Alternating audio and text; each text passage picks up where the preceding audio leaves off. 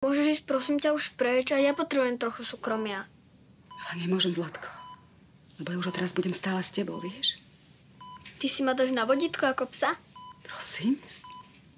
Ahojte. Ahojte. Ahojte. Klári, ja viem, že v poslednom čase som ti nevenovala toľko pozornosti, koľko si potrebovala. Prepač, mrzí ma to. Ale keď sa vrátime do Prahy, všetko sa zmení. Hej, vykašľaš sa kvôli mne na robotu?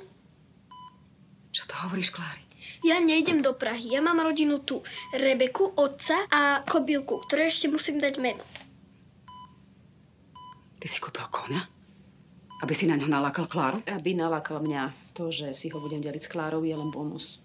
Ale ja si s tebou dieťa deliť nebudem. Ale Adela, prosím ťa, že to rozprávaš, ja naozaj neviem. Čomu nerozumieš? Nemá vlastné, tak chce moje. Ja budem mať koho? Malvinku a Petra. Ja nechcem ísť do Prahy. Choď tam ty.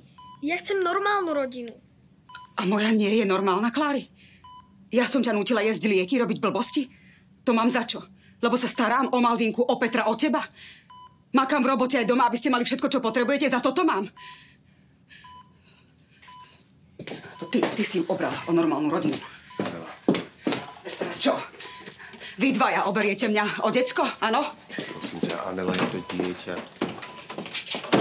Je otrasná. Ja už takú mamu nechcem.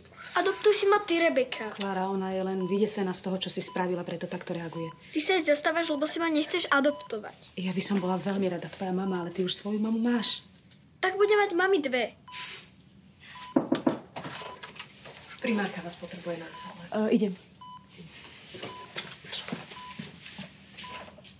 Alebo si ma nechcete adoptovať, lebo už plánujete vlastné dieťa a ja budem tá druhá? Hej, Klára, ty pre mňa v živote nebudeš tá druhá, jasné?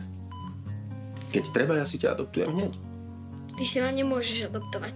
Ty už môj otec si. To sa ešte pozrieme, čo všetko ja môžem alebo nemôžem urobiť pre svoju prvú a jedinú dceru. Jasné?